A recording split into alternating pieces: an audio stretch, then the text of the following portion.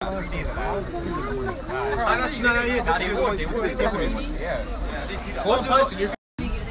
guys, imagine I told you that I waited almost two hours. Two hours. It's very busy at the moment. But I'm nearly there though. So we're at the bus stop. We're inside the place now, amen. Hallelujah. Inside, yeah? Bus stop. Wait, wait,